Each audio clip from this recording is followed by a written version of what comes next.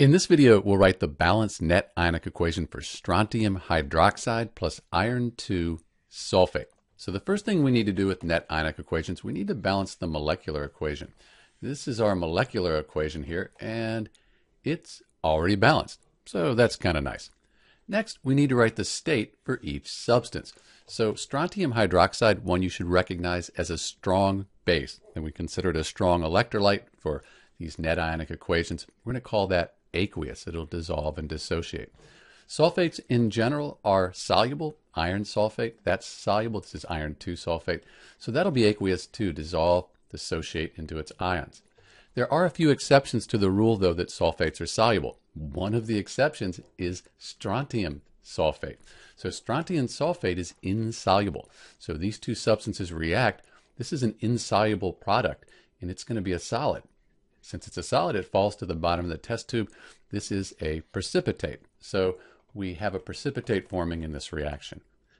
And then iron 2 hydroxide. Hydroxides are poorly soluble. We say slightly soluble. So for net ionic equations, this is also going to be considered a solid. So we're going to have two precipitates in this reaction when these two substances react here.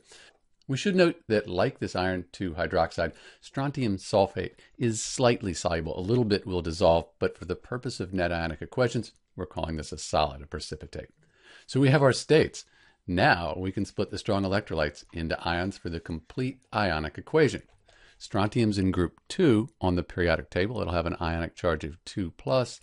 Then the hydroxide, the whole thing is always 1 minus.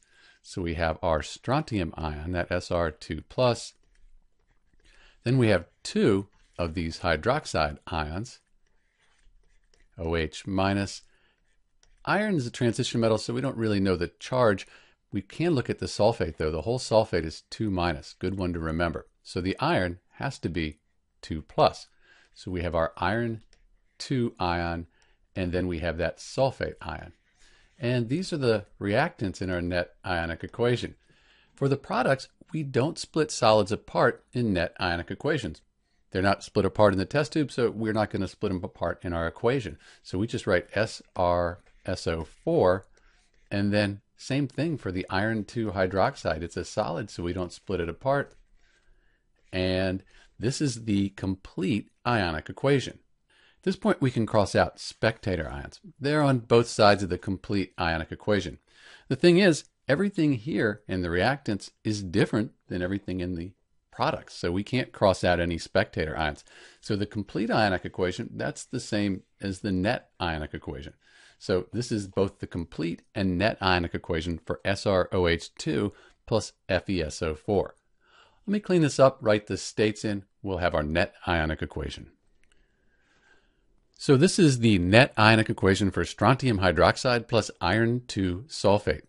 You'll note that charge is conserved. If you add up all these charges here, 2 plus, 2 times 1 minus, 2 plus, 2 minus, and in the products, these are all neutral compounds, so their charges all add up to zero. Charge is balanced or conserved, and if you count the atoms up, they're balanced as well. This is Dr. B with the net ionic equation for strontium hydroxide plus iron 2 sulfate. Thanks for watching.